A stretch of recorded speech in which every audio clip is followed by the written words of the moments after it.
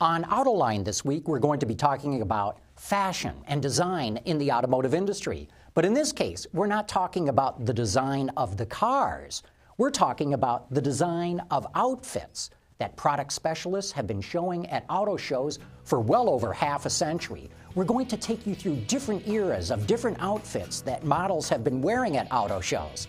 So don't go away. We're going to be back with all of this right after this.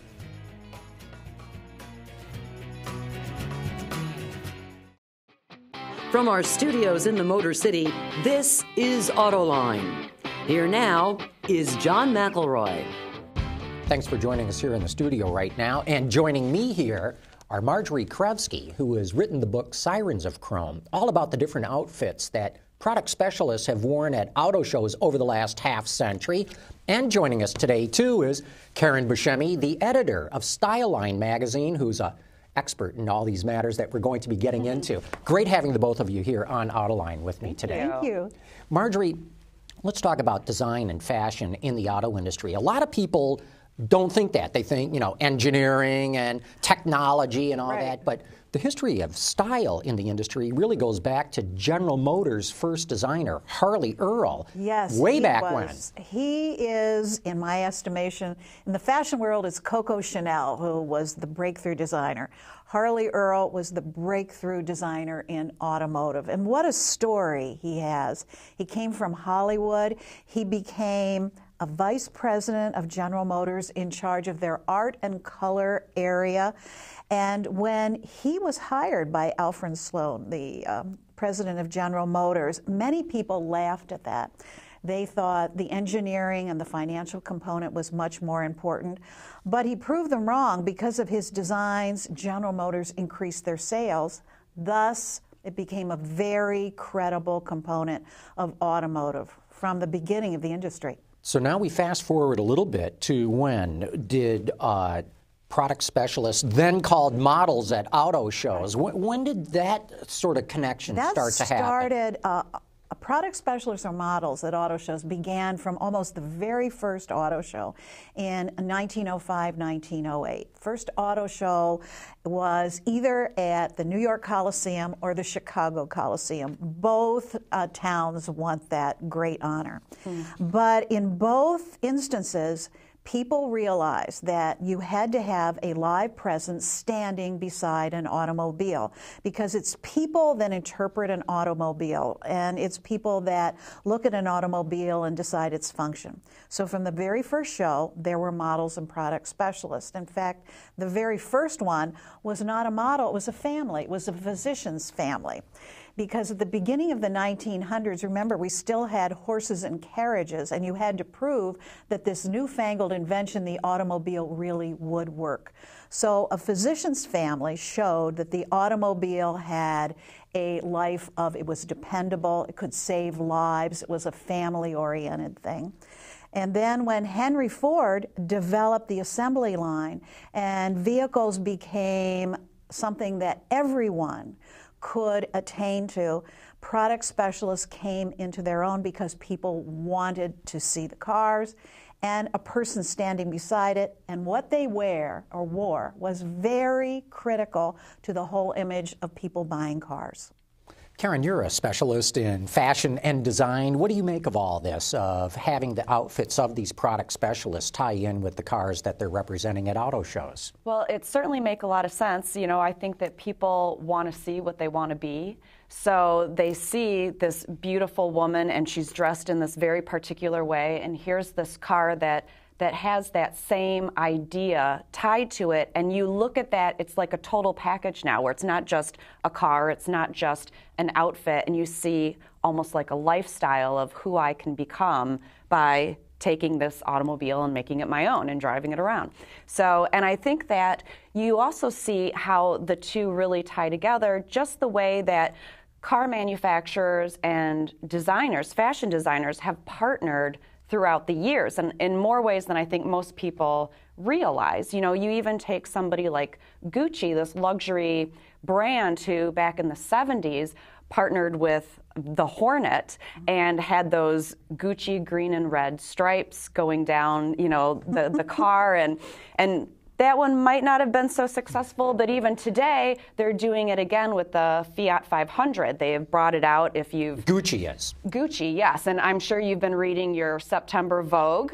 And as you've Yes, been going through, I, I read the press release, but go ahead. but they have um, a full page ad of the new Gucci car, the Fiat 500 with the striping again, with the beautiful model, basically, you know, kind of white snaked on the car with her Gucci outfit on. And it really is showing how strong that combination still is. It's really all about image, and that began about 1953, the real contemporary partnership between automobiles and design. In 1953, the New York Auto Show division hired the couturier Hattie Carnegie to design outfits and ensembles to go beside the cars of that particular show. And that continues today? That continues today. Almost every major designer has worked with an automotive company to either have their own either concept car or a car that was meant for, for the public. There is Bill Blass, Oscar de la Renta, uh, who worked with General Motors. With Chrysler, you have the Coach car that came out in the 1980s.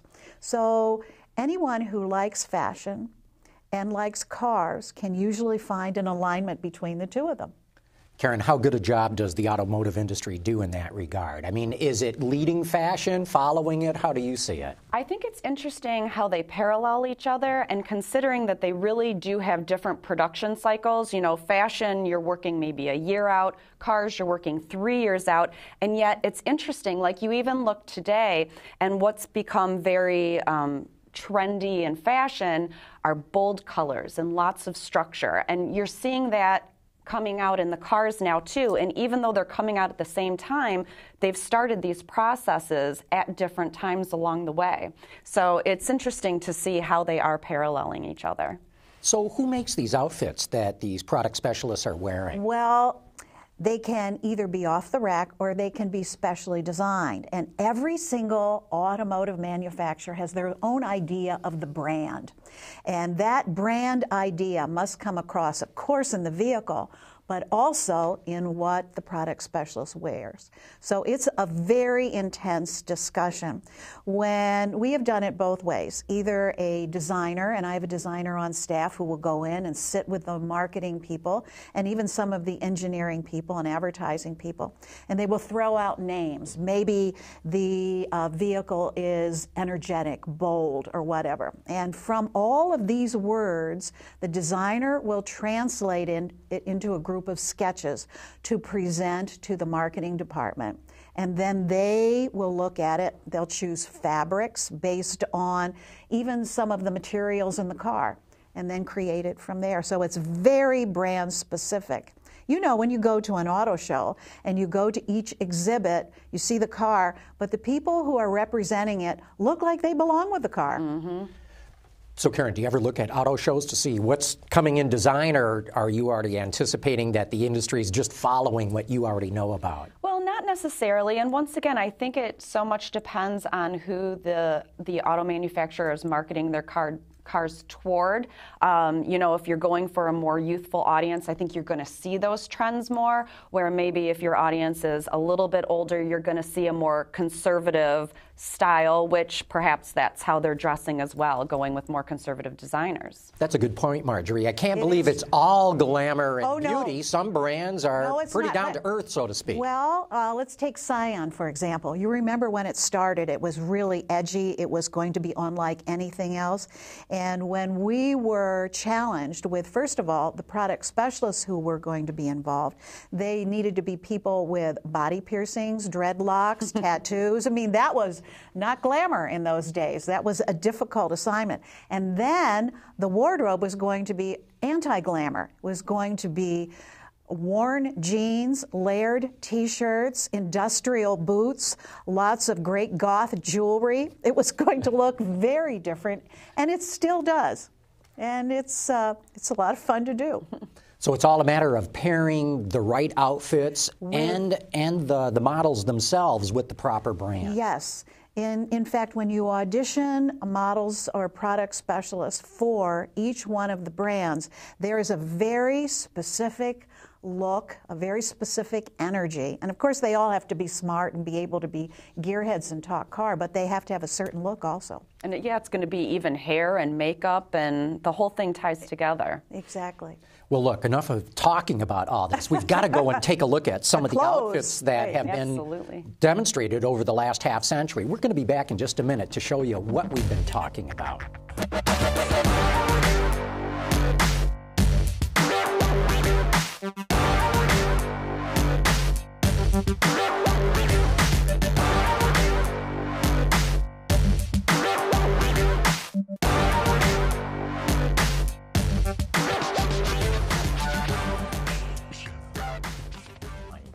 Well, as promised, we're about to show you some of the fantastic outfits that have been used at auto shows over the last half century. But before we get to that, take a look at some of the photos we've set up here in the studio, which show different eras of auto shows and capture the feeling there, not just with the cars, of course, but with the outfits that the models would have been using. And now let's get started here. Let's bring on the first model.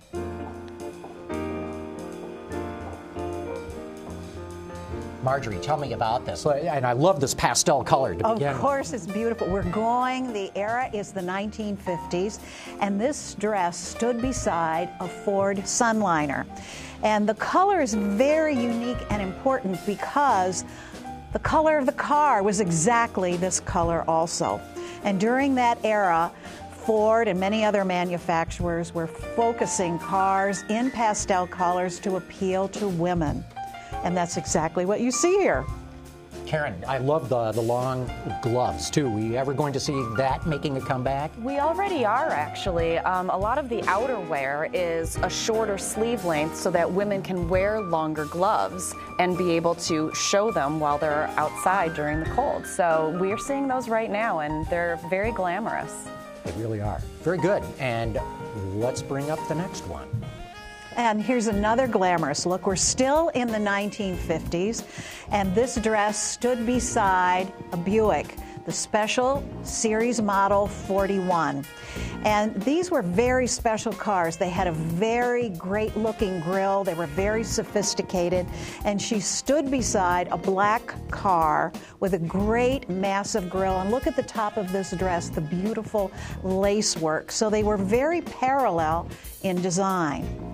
Karen, what is it about this outfit? Because I'm not into dresses per se, but I find this really elegant. This really hits me right. That the hat looks a little bit dated, but why does this dress look contemporary to me? Well, it's interesting that you should say that because this dress uh, features two trends that are very hot for fall, and that is the midi length skirt that's coming down about halfway to your calf. And the lace top. Lace and the midi length are as hot as it gets. And here you go. You know, fashion is cyclical. Maybe maybe car design isn't, but fashion sure is. So what goes around comes around in fashion. But they're classics, like the little black dress is a classic, and this certainly has all of those elements. And even in car design, people love some of those classics. And our microphones aren't picking it up, but you hear the rustling of oh, the Oh, dress, yeah. so there's a sound to it as well. Yes, that's another element of fashion that in the 1950s was very prevalent because these were very ladylike looks. And they had matching accessories like the hat, the shoes, they even had a handbag that would match the shoes. Real good. Well, time for the next one to come up. And now we're still in the 1950s. But now, vibrant color. Mm-hmm. V- yes, we changed the pattern and the hue exactly.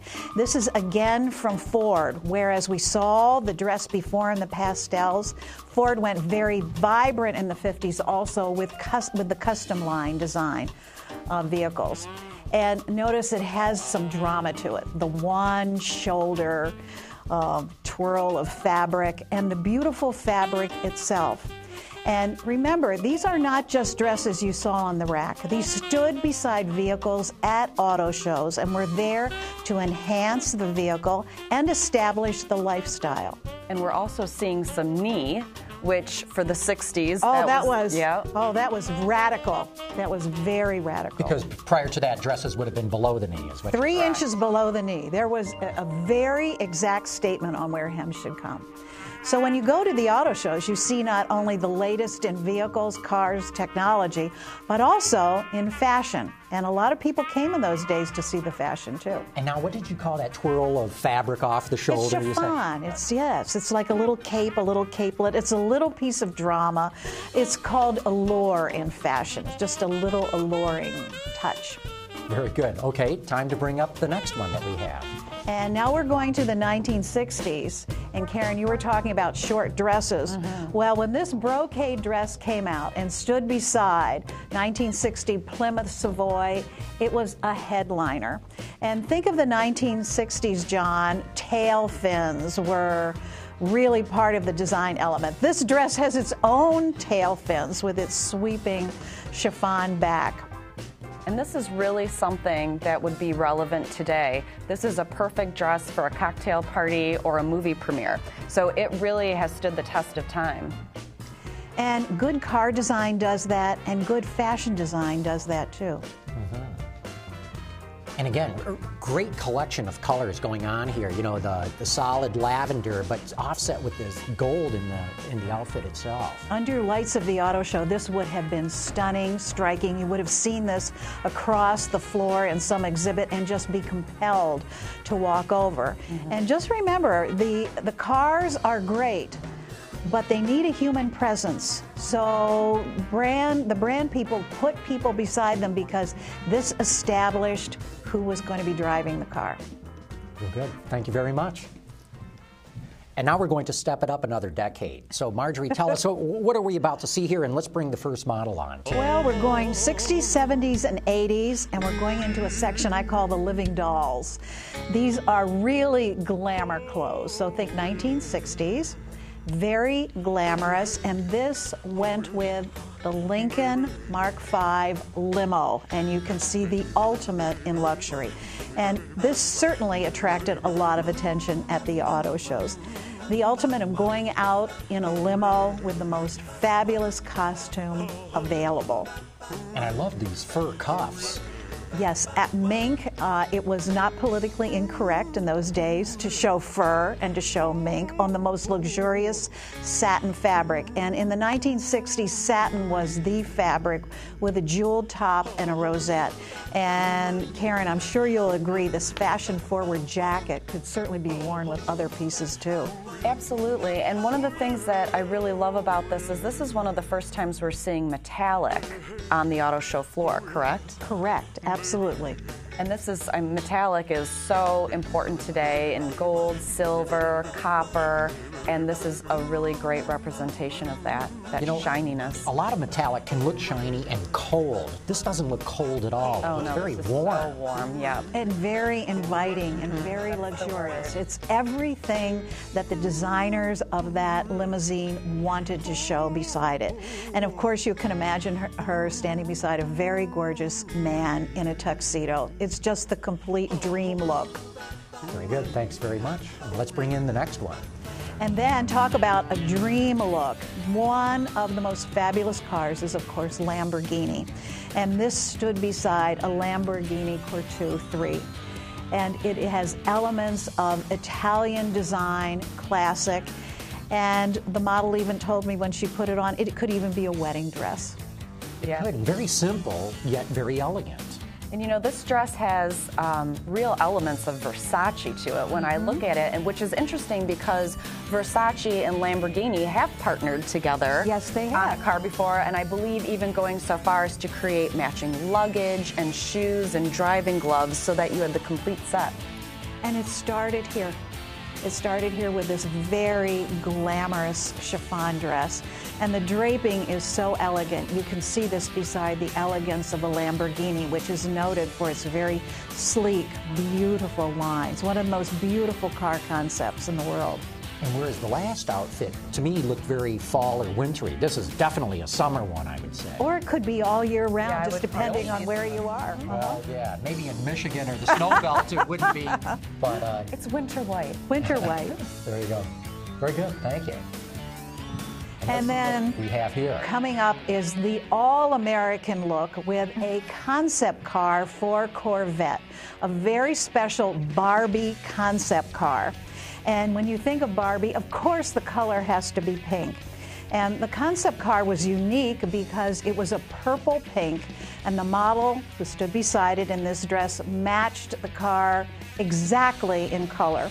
But what's interesting about this dress, it has every design element going on in it, which I'm sure you'll agree with, Kara. yes, that is the epitome of 80s design. Over the top, kind of never knowing when to quit with your fashion. And right. where many of these dresses we've seen so far, I would wear in a heartbeat. This is one that really feels specifically dated to the 80s and maybe for a costume party. maybe. Well, it has sequins, pearls, rosettes, ruching, everything on it. But it also is the embodiment of Corvette, which is all Americana, all American girl, all American guy. And when I saw the car that she stood beside this summer, uh, it, it's just a dream machine. And this was a dream dress in the 1980s. Very good. And then we are going to one more here. Right, we're going to something a little more elegant, and that is elegance, black and silver together. This stood beside the Toyota Supra. So it was sexy, it was definitely a lifestyle dream and elegant. And on the show floor, on a turntable, it would turn heads. Mm-hmm. And many dresses of the 1980s in the auto show were encrusted with embroidery or in crystals or rosettes and catching under the lights of the exhibit was a very exciting thing to see. You just see the dress here, but beside the right car in the right color with the interior having some silver elements, really and pretty I. I love how sexy this dress is without showing too much. You know, you get the, the peak at the shoulders and that little bit of the back and then that slit. So it's like you're just kind of giving the little the little tease of the sexy without just throwing it all out there. It's very covered up and it's very long, but it is certainly a stunning dress.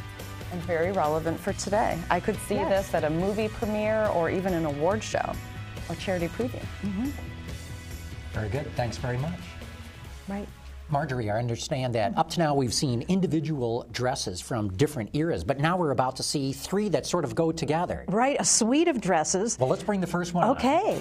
Uh, this was designed in the mid 80s for Pontiac for the Firebird series. And if you're familiar with the Firebird motif, you can see it written all over this dress and how the beads are put together and the design.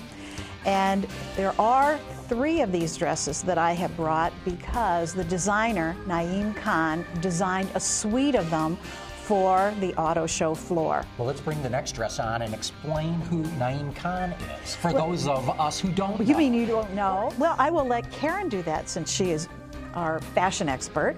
Uh, Khan actually um, is still very relevant today as a designer. So he's been designing for a number of decades, and while his clothes aren't quite this uh, over the top, he does still have a beautiful ability for embellishment, as you can see here. Well, you have to remember also, it's mid 80s, and during that time, Cher was touring the country with her concerts, and her designer was Bob Mackie. So I, when I look at these, I think these are very concert-looking dresses, very glamour dresses. Oh, yeah. That even Cher would have worn oh, during uh, yeah. during that time. And I love the feathers, like you talked about, because the Firebird of course, being feathers. Firebird, yeah. it really ties in that way. And remember, the Firebird was a fabulous four-seater car, and Um, General Motors did a four-seater car instead of a two-seater car because they didn't want to compete with Corvette, which I thought was an interesting thing. And this really is a, a, literal translation of the Firebird, you know? I mean, you really can see that design element of the car in every one of these dresses in a different way. And also interesting the color. too that they do three that tie in as a common motif rather than just have everyone wear the same outfit. And that was very radical in the 1980s to have, actually, there were six of them. You see three right. of them here. But to see six different dresses or ensembles on the auto show floor that was like, oh, you mean they're not going to match? Uh, that was a hard design concept to, um, to get across. And also, the color is exactly the Pontiac red, which is a very specific hot red Americana uh, color. Very good. Thank you very much. And now, Margie, you tell me that you've actually saved the best for last. I have is Chrome Girl.